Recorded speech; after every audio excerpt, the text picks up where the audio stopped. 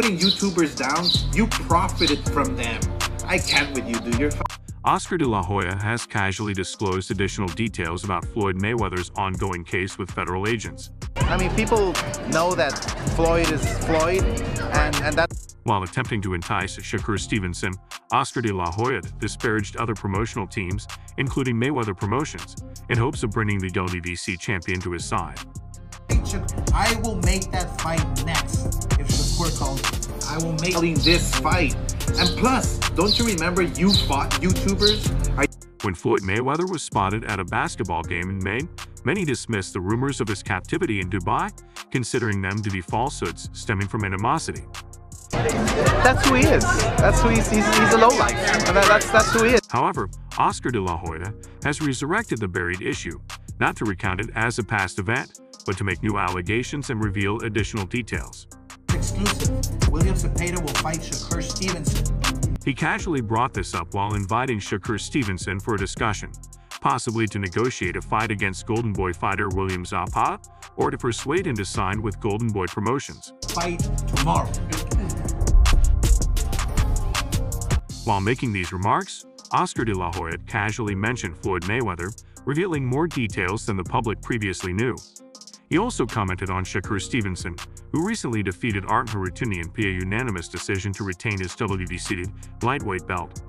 This was the first defense of the title Stevenson had won from Edwin de los Santos. Stevenson faced considerable pressure heading into the fight due to his performance against de los Santos, which had drawn criticism. Despite his victory, Stevenson was booed for his defensive style and fighting off the back foot. He later revealed he had entered the fight with a hand injury and was eager to secure a knockout. Although Stevenson displayed skill, landing sharp jabs and maintaining a strong defense, Arn Harutyunyan managed to absorb his punches and survive until the final bell. As the fight entered the final round, some fans left the stadium before its conclusion. Rounds ago. Yeah. Yeah, he just walking. A blinding jab would do that. Very close with that southpaw. Be more offensive minded. That don't mean they got to create your there were also some jeers from the crowd, which Shakur Stevenson attributed to Arkan Harutyunyan's unwillingness to engage. Stevenson mentioned that he had turned down a $15 million deal with Top Rank for five fights and expressed his interest in exploring free agency. Following William Zepeda's win over Giovanni Cabrera, De La Hoya had extended an invitation to Stevenson. Zepeda, with a record of 31 wins, 27 by knockout, is eager for a title shot, potentially against Stevenson. Hoya praised Zepeda's performance and emphasized the importance of making statements when you're the number one contender in every organization.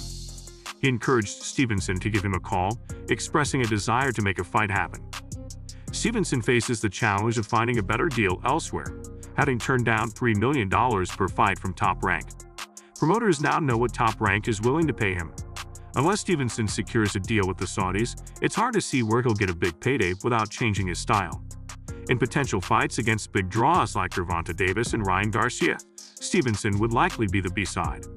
Even against Devin Haney, whose style resonates more with the public, Stevenson had turned down a 25% split to fight him at 135 pounds. As Stevenson's stock has fallen, earning him the nickname Shakur Twitter for his perceived excessive talking on social media, De La Hoya continues to woo him. In an interview, De La Hoya warned Stevenson into joining Floyd Mayweather's promotional team, making further efforts to bring him into Golden Boy Promotions.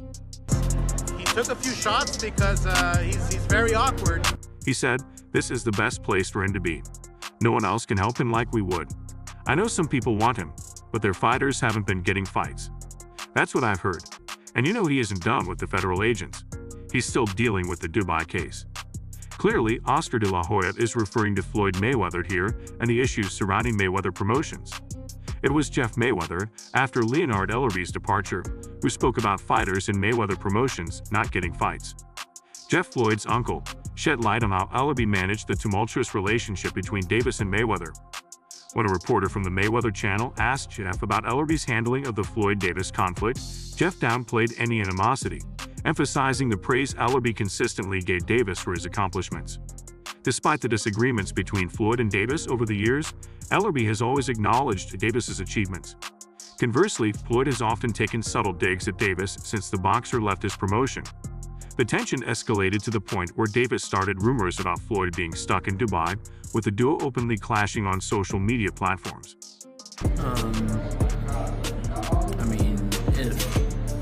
Jeff acknowledged that it was indeed extremely tough for Ellerbe to handle the situation. He highlighted that friends often want you to pick sides, but Leonard was smart enough not to do that and just kept it business focused. Jeff noted that many young fighters have been complaining about not getting fights, a concern that adds to the complexities within Mayweather promotions.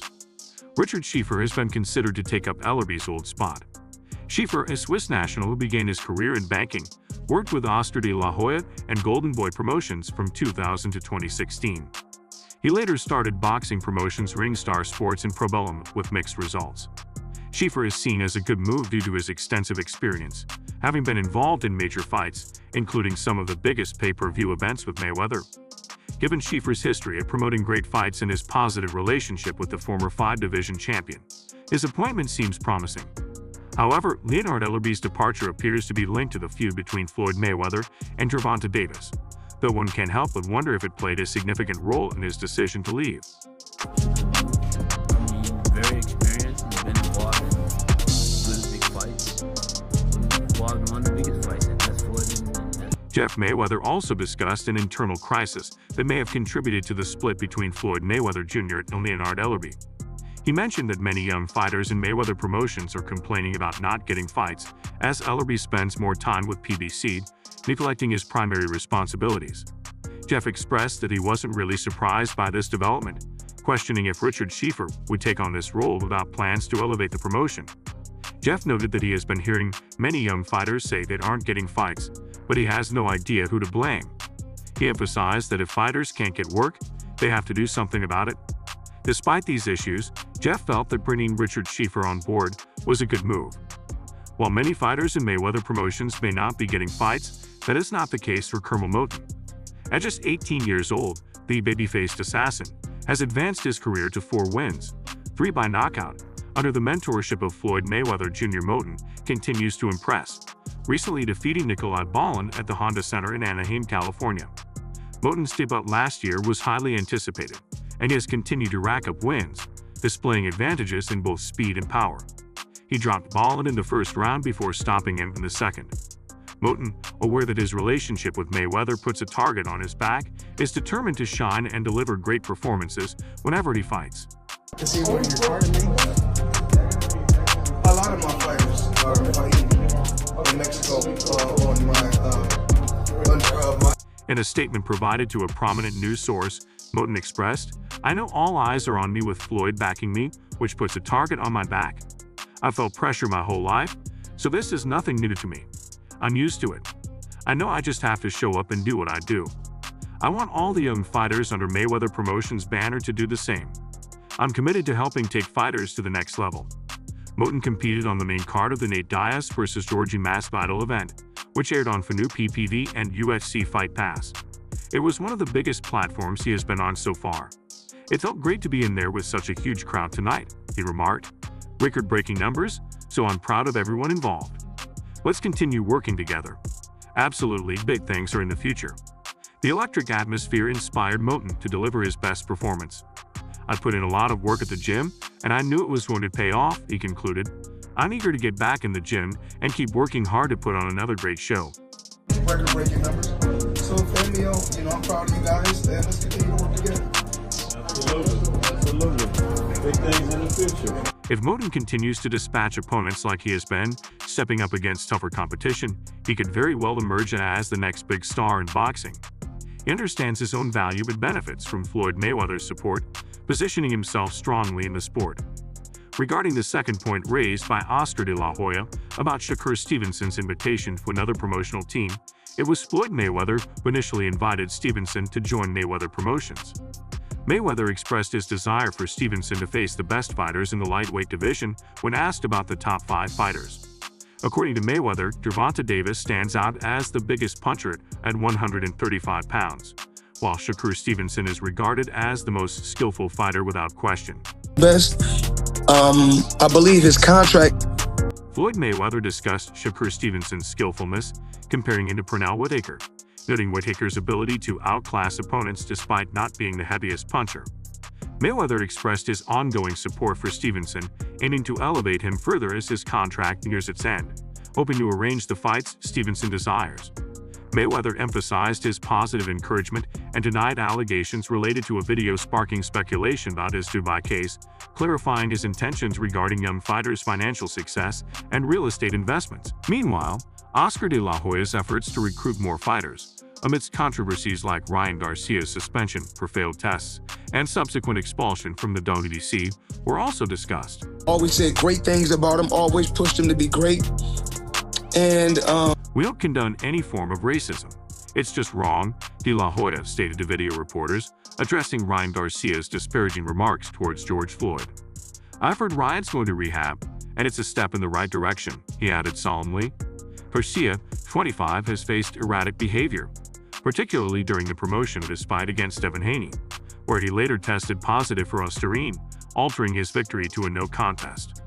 De La Hoya emphasized Garcia's non-racist character despite the controversy, attributing his behavior to possible substance use issues. He acknowledged reaching out to Garcia and supported his decision to seek rehabilitation. However, criticism has surfaced regarding De La Hoya's delayed intervention given Garcia's repeated red flags. De La Hoya expressed satisfaction with Garcia's decision to part ways with his manager and stressed the importance of positive influences in Garcia's circle moving forward not good what he said, and uh, you know. Regarding his own experiences with rehab, De La Hoya reflected, "Other people wanting to send me, it never worked. You feel sorry for yourself, think people are against you." He commended Garcia's decision to enter rehab, stating what Garcia is apparently doing to check himself into rehab is a good thing. You got to go yourself. Davis and Mayweather have had a complex relationship over the years, stemming from Mayweather's early mentorship and promotion of Davis. However, their association soared over time, leading to a split. Davis recently accused Mayweather of criticizing him and implicated him in a financial dispute allegedly leaving Mayweather stranded in Dubai. The controversy escalated on social media when Mayweather's remarks were interpreted as aimed at Davis, prompting a fiery response from Davis on Instagram, where it accused Mayweather of financial mismanagement and being unable to leave Dubai due to unpaid debts. This online feud intensified when Mayweather failed to appear for a scheduled exhibition rematch with Victor Ortiz in Mexico, further fueling speculation about financial issues. It's, it's a step in the right direction for him personally. Despite ongoing rumors, Mayweather has been active recently. He accompanied Curmel Moton to the ring for his fourth fight, attended a Clippers vs. Mavericks game in Las Vegas, and made headlines for donating $30,000 to a homeless individual in downtown Los Angeles. His presence at the AEW Double or Nothing event reaffirmed his ability to travel freely. The atmosphere at AEW was intense, especially during the Strickland vs. Cage match, which captivated the audience with its thrilling display. Strickland emerged victorious, retaining his championship to the delight of the crowd. Following his win, Strickland shared his celebratory moment with Mayweather, who was seated in the front row, further showcasing Mayweather's active and engaged presence in various events. That concludes our update for now. For the latest news, moments, events, and actions in the world of boxing, stay connected with us by subscribing to our YouTube channel. Don't forget to enable notifications to stay informed about our quality content releases. Until next time, take care